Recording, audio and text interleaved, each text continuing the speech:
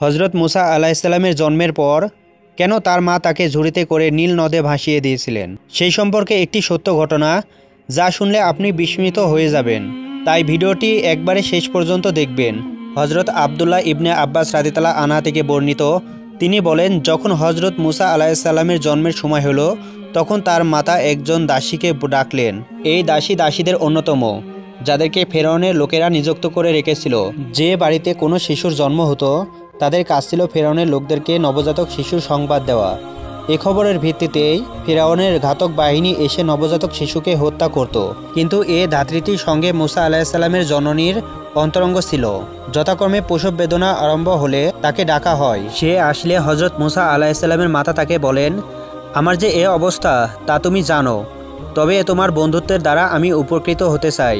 ধাত্রী তার দায়িত্ব পালন করল। হজরত মুসা আলাহিসাল্লামের মায়া মহব্বত দ্বারা তার অন্তর পরিপূর্ণ হলো।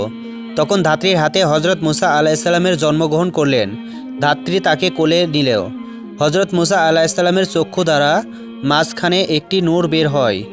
এ দৃশ্য দেখে ধাত্রী অত্যন্ত বিস্মিত হয়। তার দেহের প্রতিটি অঙ্গ প্রত্যঙ্গ কম্পন হলো আর হজরত মুসা আলাহিসাল্লামের মায়া মহব্বত দ্বারা তার অন্তর পরিপূর্ণ হলো। তখন ধাত্রী হজরত মুসা আলাহিসাল্লামের মাকে বলল আমাকে যখন ডাকা হয় এবং আমি তোমার নিকট আসি, তখন আমার পিছনে তোমার সন্তানের ঘাতকরা ছিল। অর্থাৎ আমার ইচ্ছা ছিল জন্ম হওয়ার সঙ্গে সঙ্গে শিশুটিকে ঘাতকদের হাতে অর্পণ করব। কিন্তু এখন আমার অন্তরে তোমার সন্তানের জন্য এমন মায়া সৃষ্টি হয়েছে যে জীবনে এমন মায়া আমি কারোর জন্য উপলব্ধি করিনি। এজন্য আমি বলছি, তোমার পুত্রের হেফাজত করো। এরপর যখন ধাত্রী হজরত মুসা আলাহিসাল্লামের গৃহে থেকে বের হচ্ছিল, তখন ফেরনের একজন গোয়েন্দা তাকে দেখে ফেলেছিল। তারা সঙ্গে সঙ্গে সেই গৃহদ্বারে উপস্থিত হলো এবং ঘরে প্রবেশ করতে চাইল। তখন হজরত মুসা আলাহিসাল্লামের ভগ্নী দ্রুত এসে তার মাতাকে খবর দিল যে, সৈন্যবাহিনী এসে পড়েছে এবং তারা ভিতরে প্রবেশ করতে চায়। তখন হজরত মুসা আলাহিসাল্লামের বোন তাকে কাপড়ে জড়িয়ে চুলায় নিক্ষেপ করল। সে বুঝতেই পারেনি যে সে কি করছে। এরই মধ্যে সৈন্যরা সেখানে উপস্থিত হলো। চুলায় তখনও আগুন জ্বলছে।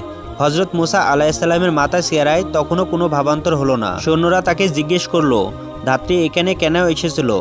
তিনি বললেন, সে আমার বান্ধবী, আমার সাথে দেখা করতে এসেছিল। এরপর তারা ফিরে গেল।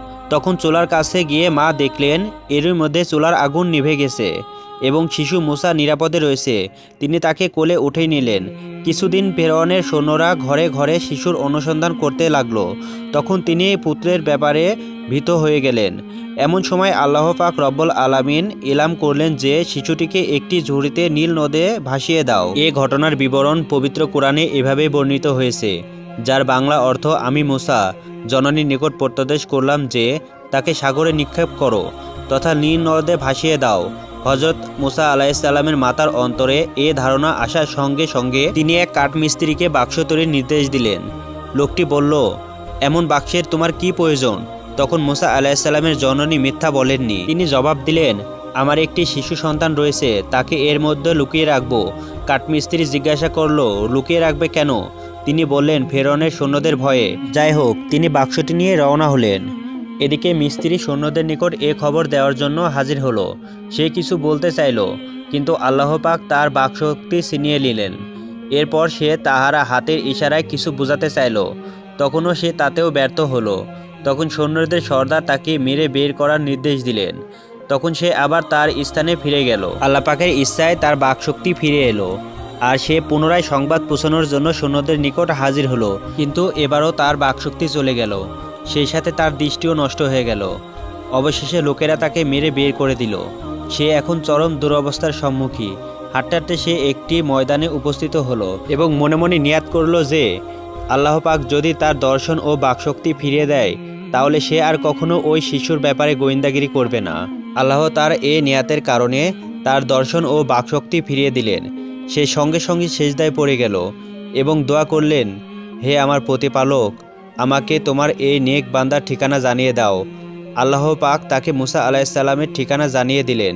সে তার নিকট পুষালো এবং ইমান আনলো। সে এই সত্য উপলব্ধি করল যে সবকিছু আল্লাহ পাকের পক্ষ হতেই হচ্ছে। ওয়াব ইবনে মুনাব্বিহ রহমতুল্লাহ বর্ণনা করেছেন হজরত মুসা আলাহিসাল্লামের মাতা যখন অন্তঃসন্তান তখন তিনি এই সম্পর্কে গোপন রাখলেন। কেউ এই সম্পর্কে অবগত হলো না। যেহেতু আল্লাহ তালা বনি ইসরায়েলের প্রতি ইহসান করতে ইচ্ছা করলেন, তাই তিনি পৃথিবীতে হজরত মুসা আলাহিসাল্লামের আগমনের অবস্থাকে গোপন রাখলেন। এখানে উল্লেখ্য, যখন বনি ইসরায়েলের অনেক পুত্র সন্তানকে হত্যা করা হলো, তখন ফেরনের জাতির পক্ষ থেকে এর প্রতিবাদ করা হয়। এ মর্মে যদি তাদের হত্যা করা হয়, তাহলে আমরা অবশ্যই গোলাম কোথায় পাব এবং পরিমাণে আমাদেরকে যাবতীয় কাজ করতে হবে? ফেরাউনের জাতির পক্ষ থেকে উপস্থিত দাবির প্রেক্ষিতে ফেরাউন এই সিদ্ধান্ত গ্রহণ করল, এক বছর বনি ইসরায়েলের পুত্রকে হত্যা করা হবে না, আর এক বছর হত্যা করা হবে।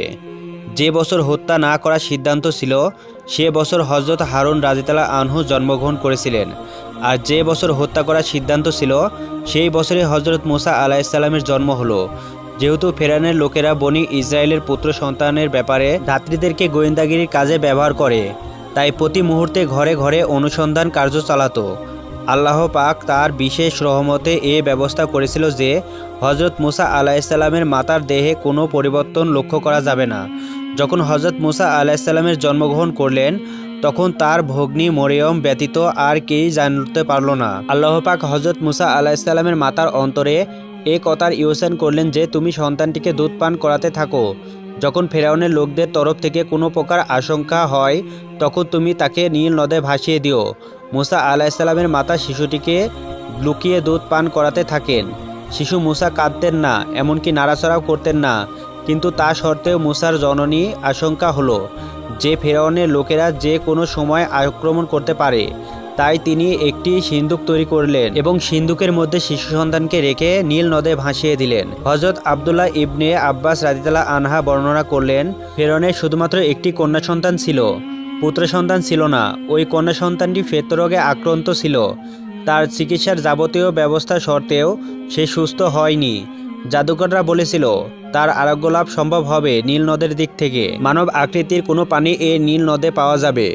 তার মুখের নালা যদি ব্যবহার করা যায়, তবে শ্বেতরোগগ্রস্ত কন্যাটি সুস্থ হবে। আর তা পাওয়া যাবে অমুক দিন সূর্য উদিত হওয়ার সময়। ওই দিন ছিল সোমবার। ফেরাউন নীল নদের তীরে তার বসবাস স্থান করল। তার সাথে ছিল তার স্ত্রী আসিয়া বিনতে মোজাহেম এবং ফেরাউনের সেই অসুস্থ কন্যাটিও ছিল। হঠাৎ একটি সিন্ধুক ভাসমান অবস্থায় দেখা গেল। ফেরাউন আদেশ দিল, ভাসমান সিন্ধুকটি নিয়ে তার সামনে আসতে। ক্ষণিকের মধ্যে তারা পরিচালকরা সিন্দুকটি ফেরনের সামনে এনে রেখে দিল। তারা সিন্দুকটি খোলার চেষ্টা করল, কিন্তু ব্যর্থ হলো। পরে ফেরাউনের স্ত্রী আসিয়া আসলেন এবং তিনি সিন্দুকের ভিতরে একটি নূর দেখতে পেলেন, যা অন্য কেউ দেখতে পারেনি। যা হোক, তিনি সিন্দুকটি খুলে ফেললেন, যার ভিতরে ছিল সুন্দর একটি ফুটফুটি শিশু এবং যার চক্ষুদয়ের মাঝখানে নূর চমকাচ্ছিল আল্লাহ পাক তার রিজিক আঙ্গুল সমূহের মধ্য দিয়ে দিয়েছিলেন। সে এ আঙ্গুল শুষে দুধ পান করত। এ নিষ্পাপ শিশুটির প্রতি অসাধারণ মোহমায় আসিয়ার অন্তরে মায়া সৃষ্টি হলো। এমনকি ফেরানো তাকে ভালোবাসতে লাগল। সিন্ধুক থেকে শিশুটিকে বের করা হলো এবং তার অসুস্থ কন্যা এসে পড়ল। সে এ নবজাতক শিশুর মুখে নালা নিয়ে সে তার অসুস্থ জায়গায় মালিশ করতে লাগল। সঙ্গে সঙ্গে সে সুস্থ হলো। ওই কন্যা সন্তানটিকে চুম্বন করল এবং টান দিয়ে বুকে নিয়ে আদর করতে লাগল। পবিত্র কোরআনে এই ঘটনাটিকে এভাবে বর্ণনা করা হয়েছে। অর্থ এরপর ফেরাউনের পরিবার লোকজন তাকে উঠিয়ে নেয়, যাতে সে তাদের শত্রু এবং দুঃখের কারণ হয়। অর্থাৎ ভবিষ্যতে হজরত মুসা আলাইসাল্লাম তাদের দুশ্মন হবেন এবং তাদের দুশ্চিন্তার কারণ হবেন। এরপর ঈশাদ ঘোষণা করবেন, ফেরাউন ও তাদের সৈন্যবাহিনী ভুল করেছিল আর তাদের ভুল প্রত্যক্ষ ব্যাপারেই ছিল। যেমন হজরত মুসা আলাহিসাল্লামের জন্মের কথা শুনে সেই ভয়ে হাজারো নিষ্পাপ শিশুকে তারা হত্যা করেছিল। এটা ছিল তাদের মারাত্মক ভুল। দ্বিতীয় শিশু মুসাকে তারা নীল নদ থেকে ভুলে তুলে নিয়ে এসেছিল এবং নিজের বাড়িতে লালন পালন করেছে। পরবর্তীকালে যা হবার নয় তাই হয়েছে এবং হাজার হাজার নিষ্পাপ শিশুকে হত্যা করার মতো জঘন্য অপরাধ তারা করেছে। আর এই জন্য মহান আল্লাহ পাক রাব্বুল আলামিন হজরত মুসা আলাইসাল্লামের মাধ্যমে ফেরন ও তাদের সৈন্যদেরকে শাস্তি প্রদান করেছেন এবং ফেরনকে হত্যা করেছে। আর সেই শিশুটি আল্লাহ পাক তার বাড়িতে তারই নাকের ডগায় তার দ্বারাই লালন পালন করিয়েছে। এটি নিঃসন্দেহে সর্বশক্তিমান আল্লাহ পাকের অসীম কুদরতের নিদর্শন।